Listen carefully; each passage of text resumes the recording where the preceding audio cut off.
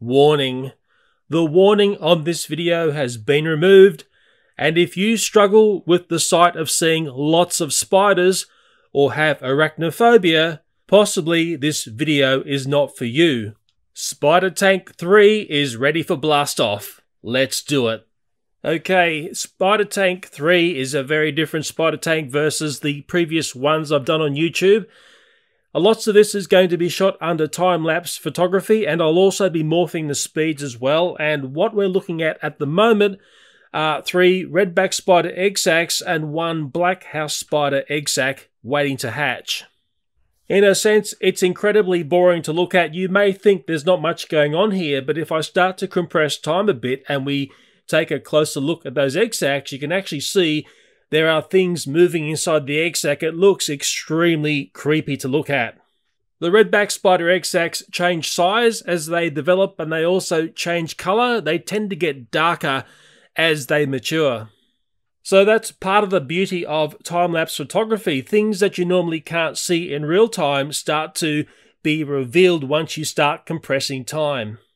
These redback spider egg sacs were taken away from the mother spider at a very early stage of their development.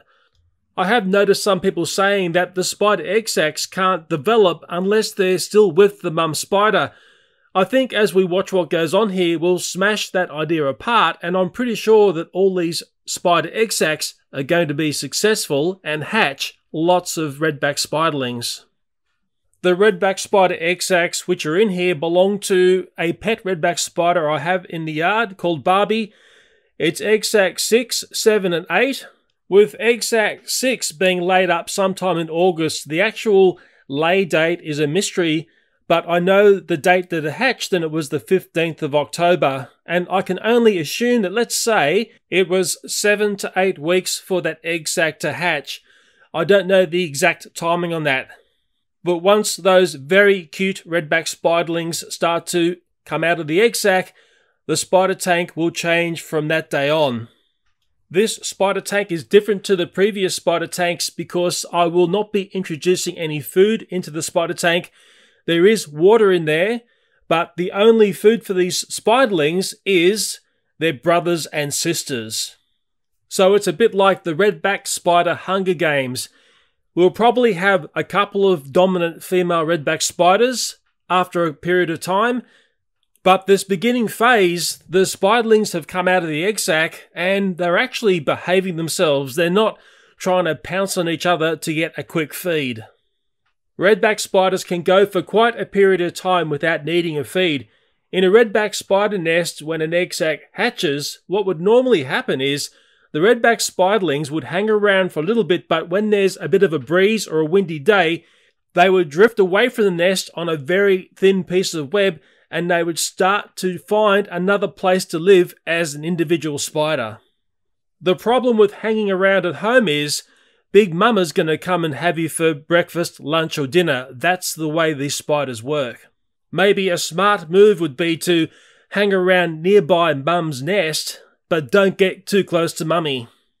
But these spiderlings don't have Mummy around. In fact, all they have is each other. If the black house spider egg sac does develop and hatch, well then maybe they've got another problem going on. But sooner or later, the desire to need a feed is going to overtake the desire to be friendly to little brother or sister. In Spider Tank 3, the most psychopathic killer spider is the one that's going to survive. I've learned a few things about these spiderlings over the years, I do know they are attracted to light or things that are brighter because when they hatch from their nest, you want to get away from mum because she's a psychopath. And normally, redback spider nests are in dark, recluse areas, and light would be a signal to the spiderlings that's an escape route. I'll head that way and wait for a breeze to come and send me on my way. There's a couple of complications happening already. There are a few small critters getting about inside the spider tank. Somehow they got in there. And we're going to slow up the footage and we're going to go in close and see what's going on. It looks like a spiderling takes out one of the small, whatever it is, it could be a fly or something. But there's also another spiderling there who seems to be caught on their own web. There's something weird going on. The spiderling isn't free from a zone that could be a very fatal thing to do considering who's around you. And I think that's a big reminder that sometimes it's that one mistake that you make that can be the fate of you.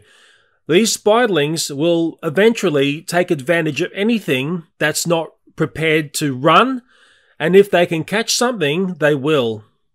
But this is very early days at the moment. They seem to be fairly settled in real time when you look at the spiderlings and you're not teasing the web. They're actually a very passive spider. They just sit there and seemingly do nothing. If you tickle the web, they will get very active. They seem to get quite agitated when the web gets tickled. And when I've had the borescope in there, looking at the spiders up close, I do tickle the web to make them move around. But normally, these spiderlings are just sitting on the web that they've made and chilling out. But don't ever get too comfortable because that chilling out is sort of like the calm before the storm. And here's a bit of footage of the other bug that's in the tank. It's like a little fly. I'm not sure what the other thing was. It was minuscule. I mean, the spiderlings themselves are tiny. I should have put a grain of rice in there to give you some sort of scale of what you're looking at. But that fly, or whatever it is, is playing a very dangerous game. And I tell you what, one thing I do see is those spiderlings are very wary whenever something touches the web. They come out of their egg sac and they are prepared to jump on anything that excites them. They seem to be acting as a group of spiders and doing the same thing, but then all of a sudden you'll see an agitator. You'll see one spider decide, I'm going to do something different. And it's only about two days after they came out of the egg sac individual spiders start to do their own thing. It must be a very courageous move to move away from the pack and they will start to weave more web. They start to go into new areas and they start to take more risks. Although in this environment, there's no real safety in numbers because the numbers around you is what's going to kill you. Maybe the penalty in being adventurous is you are moving around, you are spinning more web. You're going to need a feed before another spider in the tank. But you never know, being that individual spider who's decided to take a risk could be a winning formula in this environment. But then there's another divide going on here which really does separate these spiderlings. Which one's a male and which one's a female? And I can tell you something straight away there is no way I'd want to be a male amongst any other females in here. And on the thought of the gender divide going on with the spiderlings, and luckily I have a friend who lent to me this wonderful borescope. It's called the AU Pro 90. My friend, and I've known him for a long time, sells this on eBay as a kit to look up inside, I'll just say ballistic barrels without saying a G word. And when he first suggested to me this borescope, I'll be honest here, when I think of borescope, I think of looking down spark plug holes or looking down in engine bays looking for nuts and bolts that you've dropped, I never ever thought of something like this to look at spiders or stuff in nature. In fact, across all of the spider tank videos that I've done and all the redback roundups, I don't think I've ever heard one person say on YouTube, hey, did you try a borescope to see those sneaky spiders where they hang out? When I started playing with this tool, I felt very quickly, this is heading me in a new direction in a way to see these spiders in a really nice way. So with these tiny spiderlings, I took a lot of video footage with this borescope. It's got its own LED lights. It's got this fantastic screen so you can see exactly what you're shooting. And when I looked at these spiders, I thought to myself, I don't think I can tell a male from a female. Remember, I'm not an entomologist or a spider expert, but one thing that I did notice was there seemed to be ones that were prettier or had different markings versus others. And I'm hoping that you can see this. I want to show a lot of footage from the borescope. They all had the same spidery sort of attitude. I wouldn't say there were some that were lackluster versus others. And I did learn that if I agitated the web, I could get them to be quite excited. They'd almost get into like cranky mode, but they weren't doing back leg action and they weren't trying to jump on each other.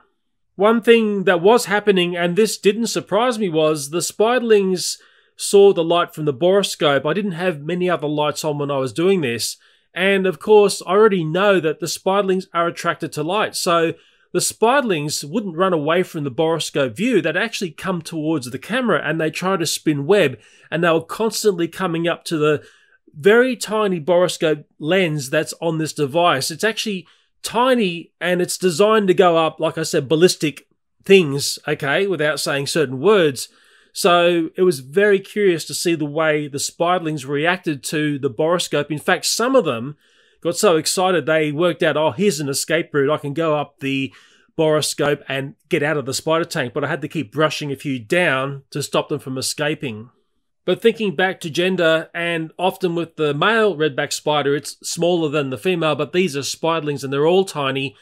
I was looking for what I say are little pom poms at the front of the spider that the males have that the females don't have. Honestly, I couldn't see it. I looked very carefully. Maybe you see something that I don't see, but I can't divide male from female from what I'm looking at. So, okay, I'll come to a conclusion here. I can't say this is week one because this really encompassed about three days.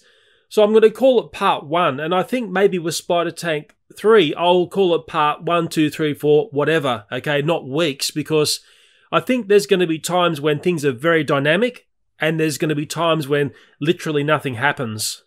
And another note about Spider Tank 3, and this is different to the previous Spider Tanks, there is no Vaseline around the top of the glass, and also that top cover has no silicon spray, so in a sense, it's totally chemical free. So, yeah, there you go. There's part one of Spider Tank 3, the ultimate Spider Hunger Games.